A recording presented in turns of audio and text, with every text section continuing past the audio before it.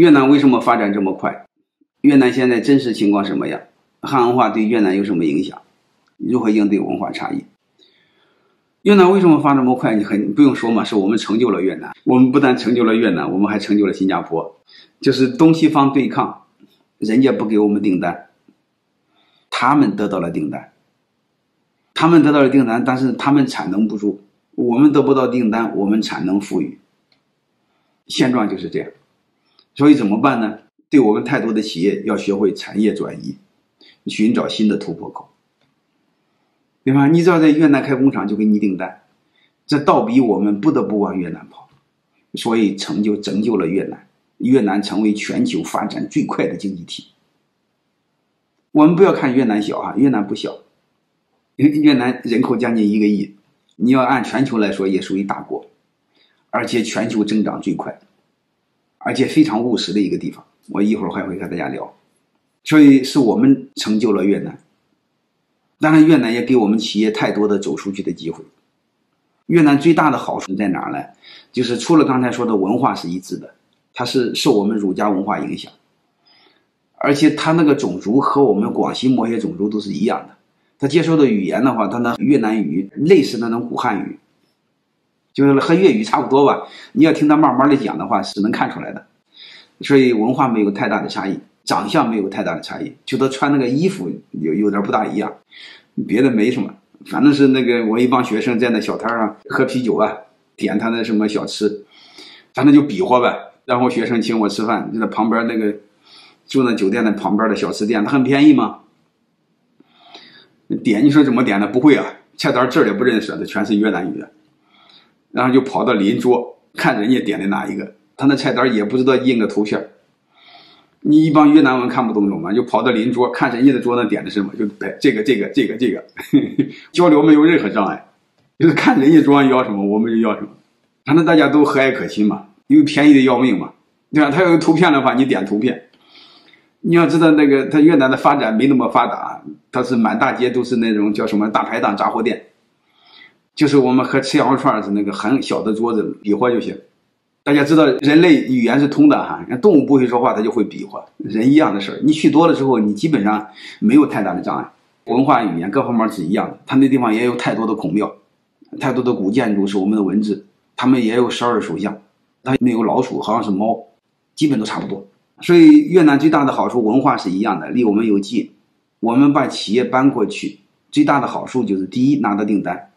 第二个呢，它利用我们国内产业链非常齐全，所以直接把原材料拉过去就好了，拉过去在越南组装就卖出去了。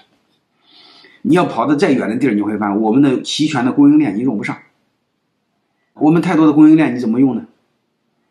另外在老远，你要是在河内附近，你会发现我们的供应链从广州、广西那个那配件都拉过去了，呃，很便宜，走港口也很便宜。所以越南最大的好处就是。你那个订单不足的时候，你产能转移到这个越南，特别是河内附近，你利用国内齐全的供应链，你在那类似做组装，非常好，非常好的，所以这是它天大的一个优势。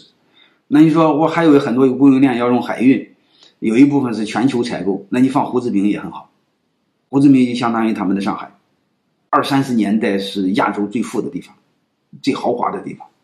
所以这些东西我们要知道越南的特点，越南和我们的差异和我们的互补性，所以一个非常大的一个机会，值得大家去看看。呃，还有一个越南的一个好处在哪呢？就是你能立体的看待历史。七五年国家才统一，七八年土改，这个你们多少有点年龄能懂的啊？就是七八年开始打倒地主，打倒资本家。然后达到了两三年，他发现错了，很快就改回来了。九十年代开始改革开放，所以他现在相当于我们的两千年初，九十年代的中后期，整个土地、整个国家生机勃勃，充满了活力，满街都是咖啡店。你们知道越南的男人不大干活，都女人干活，大概就这意思。整体街面没那么好看，因为它是私产，大家知道私产房子是不能随便扒的。所以它那个楼细高细高的都是刀片楼，所以你会了解一个立体的越南。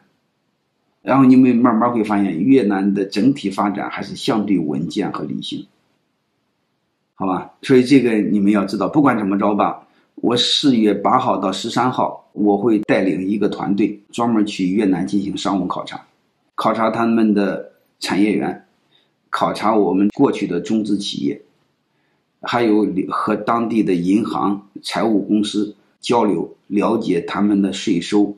了解他们的这种关税，了解他们的融资情况，再另外就会请一些历史人文专家专门介绍越南的发展，大概这么个来回几天的安排，要去很多地儿的哈，天天是闲不着的啊。当然还顺便还要考察一下人文环境景观，留出个半天让大家看看风景，放放羊，然后晚上大家喝个酒，基本上是这样。你们自己根据你们的时间。嗯，做一下安排，我认为都值得去的啊。越南我大概去了第五次，我每次去感触都非常深。第一两次去是一个模糊的概念，越去越看越立体，越去看感触越深，越看越感触到这种生命的卑微，这个生命个体的脆弱，太多太多了。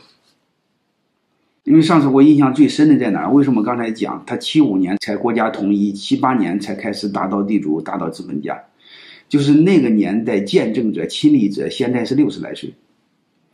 我不知道各位能不能懂，他能告诉你过去血淋淋的这种极其鲜活的历史。要知道，我经历过我们那个那段历史的，我们现在的那个人，第一很老很老，了，因为太多的都去世了。就是在五十年代、四十年代，我们这片土地上的亲历者已经去世了，多数去世了。所以我们有时候你和他隔了一代、两代，啊，你感觉那是历史很远很远的。上次是越南的时候，那个导游六十来岁，他就是一个很大的家族。这胡志明就告诉我，这栋楼以前是我家的，啊，很大哈，那很大一栋楼的。然后这栋楼是我家的，但是现在不是他家的，那是完全不一样的。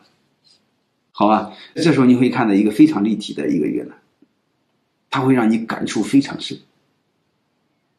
所以有些历史吧，我们没法来回避，你可以去思考，给你太多的思考。这个伙计去过，对阿宝导游的印象深刻，叫毛豆。看来你去过哈，看来你跟着我去过啊。好吧，就类似这些，我希望你们去看看啊，就是立体的去看看，呃，然后去感受一下，即便是你们不过去投资。你作为一个老板，也需要考察一下，真正睁眼看看世界。我认为老板的任务就是抬头看路，抬头看世界。老板的任务不是低头拉车，老板的任务是抬头看天，抬头看世界，抬头看未来。亚洲没有好地方，那你就去非洲呗。这就说的太绝对，一看你就没出去过，你出去过你不会这么判断。好了，第一个是你们这个跟我四月八号、十三号去越南进行商务考察，一周时间。再另外出去不了，你就看我那门课程《跨越周期的逻辑》。任何地儿都有发展的周期，如何你一直处在风口，而不是处在低谷，被历史的周期埋没，而且死在下一个周期来临之前，这是非常悲哀的事。你看看我线上的课也行，就是你出出去不了，你就看看我线上的课。对周期有一个理性的认识，然后再选择出海还是出局。就是不管怎么着，我不希望我们成为历史，我们成为历史的见证者，时代的弄潮儿，你永远走在风口上头。这是我想给各位说的，就是生命有时候太脆弱，你不需要想那么多，你是需要是个明白人。啊，大概知道这个事儿就好了。越南餐饮怎么样？这个可以思考的哈。我我不知道各位思考没有，就是任何一个地方的发达，首先是工业，就是第二产业或第一产业，紧接着带来的是第三产业。包括你看我们任何城市，你回过来看九十年代、八十年代一直到现在，只要是有第二产业、第一产业、第二产业，紧接着第三产业。越南其实也一样，越南是现在蓬勃向上的是第一产业和第二产业。它第三产业一定配套慢半拍所以你们做第三产业就是服务行业啊，饮食服务业，这对我们来说是太好太好的机会，因为这个过程你经历过，对吧？对越南人来说是懵懵的，他没概念。你明显看他缺什么，需要什么，都一样的事啊，孟加拉也一样，孟加拉也很好。嗯，有机会我带你们去孟加拉看看。我们刚好一个一个同学也在孟加拉，我有一个粉丝在孟加拉，嗯，都很好。你不都不要小看啊！你老瞧不起孟加拉，孟加拉是我们国人移民的排名的前十大国家，包括印度。好了，我大概就说这些。